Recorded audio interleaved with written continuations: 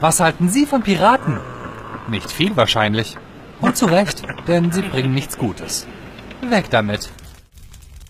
Und was ist das? Piratenpartei. Stimmt, das war doch mal die politische Hoffnung der Nation. Piraten, das waren die Lieblinge der Medien. Aber was wollen sie? Ähm, Datenschutz? Das ist alles? Grundeinkommen. Gleichstellung, Erneuerbare Energien. Bürgerbeteiligung, Transparenz. Bildung.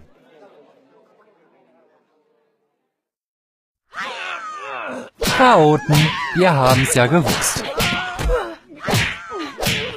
Bedeutungslos. Äh, hallo? Betrachten wir mal die Nicht-Chaoten, die sich meistens mit drei Buchstaben vorstellen.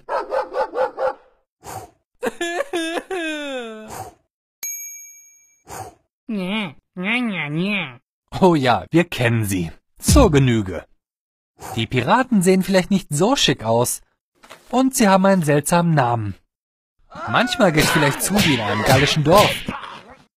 Aber sie haben neue Ideen. Bedingungsloses Grundeinkommen. Gleichstellung. Bürgerbeteiligung. Transparenz. Bildung. Fahrscheinloser Nahverkehr. Piraten.